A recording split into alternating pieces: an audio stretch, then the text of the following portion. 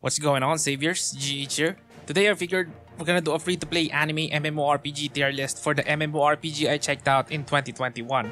And keep in mind guys that these are my own opinions and to sum it up, I will rank them based on how I like them and with that said, this is my anime MMORPG tier list for 2021. Let's do this!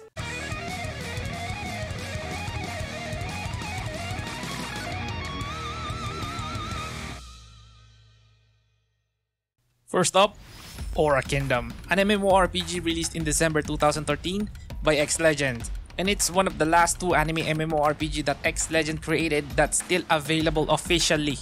And based on my gameplay, which I did in September, overall it was a decent MMORPG with all the things that you would expect from one.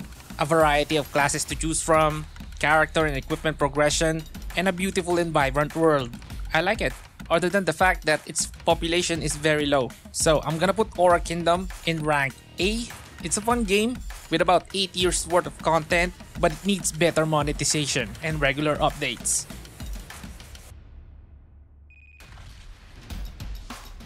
Second game is Closers. It's an instance-based action MMORPG released in December of 2014.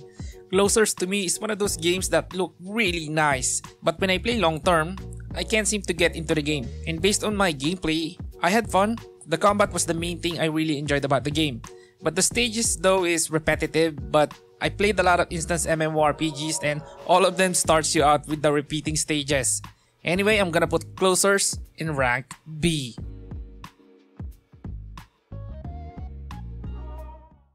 So our next game here is, what's this? Dragon Ball Online. It's an anime MMORPG based on the most popular anime, Dragon Ball Z. It starts you out with a character creation, and from there, they will let you choose from the human race, Nameks, and the Majin Buus.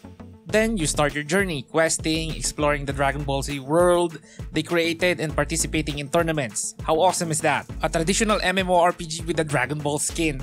Even though the game didn't run well, I still enjoyed it because I wanted a Dragon Ball MMORPG, so if I'm gonna rank it, I'm gonna put it in rank S, even though it ran like crap. I hope we get a proper Dragon Ball MMORPG that will stand the test of time. Next game is Kritika Reboot, a hyper-stylized anime brawler game featuring over-the-top action. Yep, that's how the game describes itself. And for the most part, it's true. And in my gameplay, I like how detailed the character model looks, and the combat is really hyper stylized. But I didn't feel the sense of character progression because I didn't even notice that I was high level already, and I barely played. But overall, the game still looks recent and the combat is satisfying enough. And with that said, I'm putting Kritika in rank A.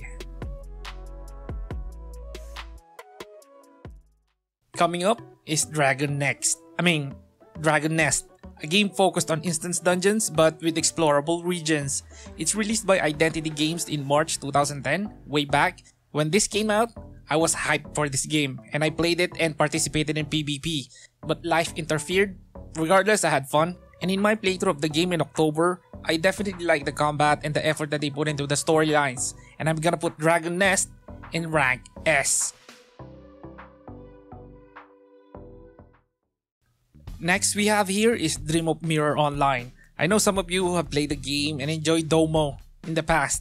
But today, oh man, I still remember the struggle on trying to like the game and I tell you right now, ah, uh, I failed.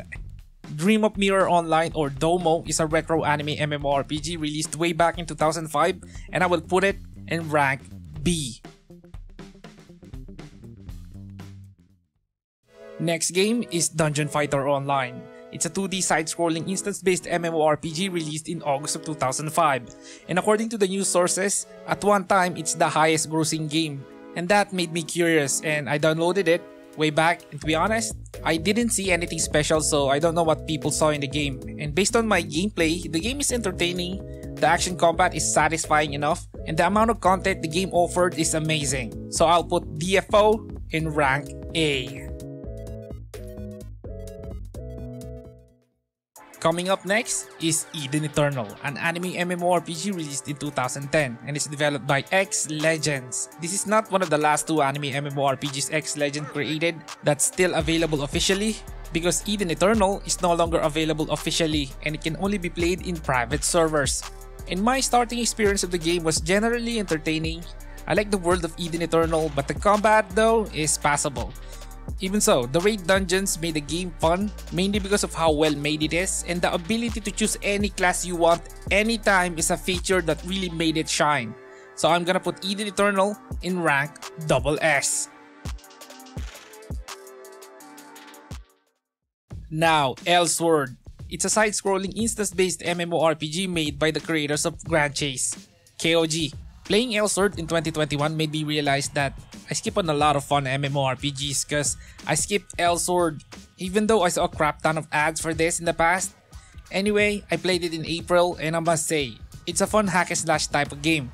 It got colorful graphics, tons of characters to choose from, and a world filled with dungeons to raid. And I'm gonna put Elsword in rank A. Next we have here is Fiesta Online, an MMORPG currently maintained by Gamigo or Gamigo. In the past, I've always seen ads for this game, posters everywhere, but I never really tried it cause why would you name your game Fiesta? What's next? Christmas Online? Anyways, my starting experience of the game was entertaining enough, but admittedly, the quest system is a bit confusing. Now, the combat is tab targeting which works, but I prefer action. Overall, it did give me the MMORPG game I was expecting, and the game seems to be very much alive. So I'm gonna put Fiesta Online in rank A.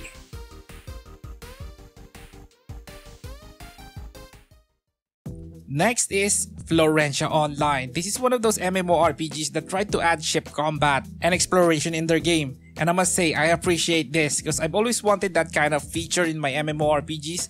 And looking back, Florentia is a fully fledged MMORPG with all the things that you would expect from an MMORPG. I like the graphics, and as I've said, the ship combat. But the game felt clunky though, and it feels incomplete. And also the population might be a problem though, and with that said, I'll be putting Florentia Online in rank B.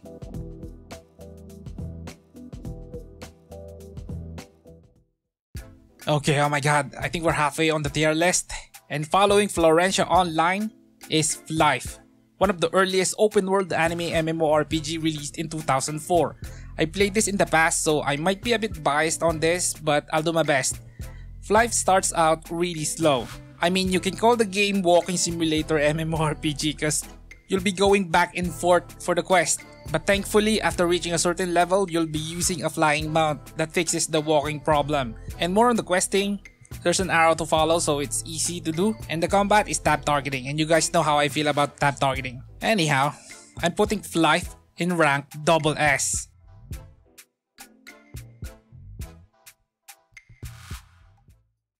Now, God's War, an anime MMORPG set in ancient Greece with a Greek mythology theme. And starting the game out in 2021, I remember having problems with the resolution because it wouldn't 1080p. But aside that, it was a seamless MMORPG experience that didn't give any more problems. And I'm gonna put God's War in rank A.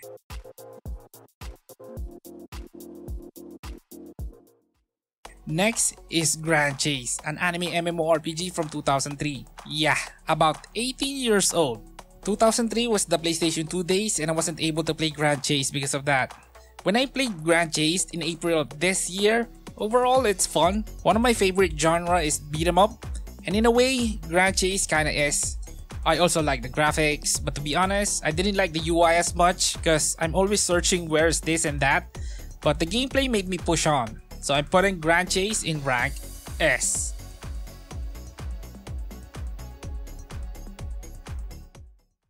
Coming up next is Grand Fantasia. If you watched my old videos, you know I played this hardcore to a point that I quit the game because nobody wants to play with me in PvP. So I searched for a new game to start anew.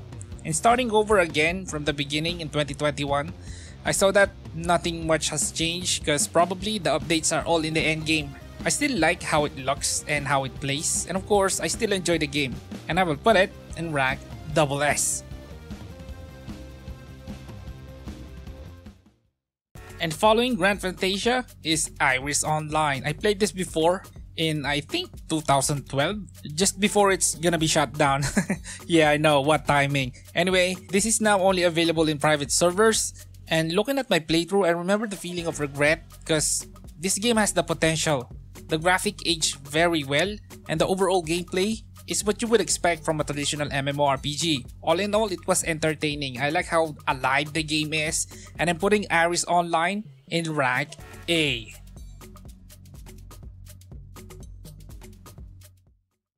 Now, KurtzPel. I've recently checked this game out and to be honest, I'm impressed at how awesome the game looks. But I also wanted more from the game like exploration. KurtzPel is an instance hub based game that could have been like Genshin Impact but MMO. Anyway, as it is, it's still fine and fun and it's action combat.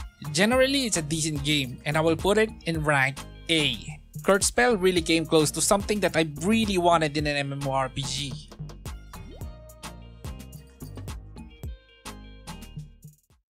Coming up next is Luna Online. It's a cutesy anime MMORPG released in Korea in 2007 and what I remember when I last played it is having inventory issues and trying to figure out why the game is crashing. But overall, I like how it looks and there's a lot of people in the town which is a good sign.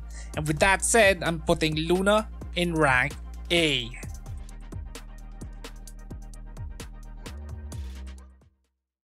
And of course, Phantasy Star Online 2 New Genesis. In my opinion, it's currently the best free-to-play MMORPG out there. It has great graphics, an open-world environment, and fast-paced action, even though, admittedly, the content is very lacking. Even so, to me, PSO2 New Genesis is my top 1 anime MMORPG. Rank Triple S.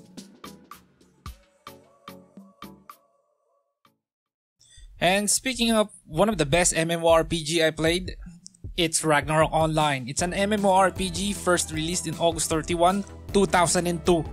Let's go straight to the rank. And honestly, to me, it's a rank triple S. But right now, there's no real stable official server for Ragnarok Online and even if you try it now, the chances that the server going under is very high so I'm putting Ragnarok Online in rank double S. If you look at the game right now, they improved on a lot of things to make the game much more easier to play, but the thought of another server going down is unbearable to me.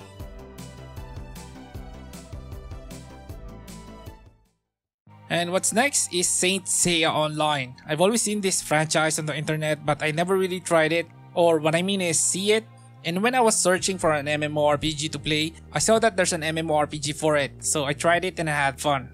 They really captured the anime look of the game and you could go Power Ranger and get better abilities. Overall, I really like it, but it feels undone and incomplete. So I'm gonna put it in rank A.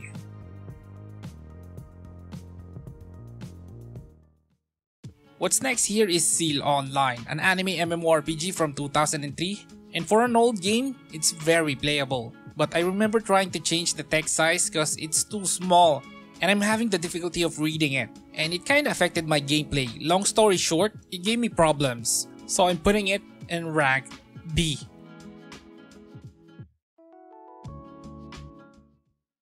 Now, Soul Worker. It's an instance-based anime MMORPG released in 2016, and it starts you out with characters to choose from with its own story that you can follow. The questing was easy and the combat is not boring. I remember liking the anime aesthetic of the game and having fun in the boss fights. And I guess the only thing that I didn't like is the conversations in the game. It's lengthy, but anywho, I like the starting experience and I'm putting it in rank S.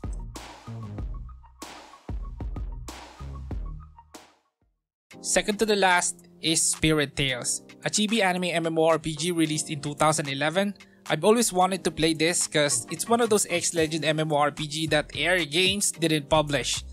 And now, it's only available in private servers and in my time playing it, it wasn't really revolutionary but I really like the world wherein the map or the environment looks like we're in a small planet. And it felt quite unique. And because of that, I'm putting Spirit Tales or Glory Destiny Online in rank A.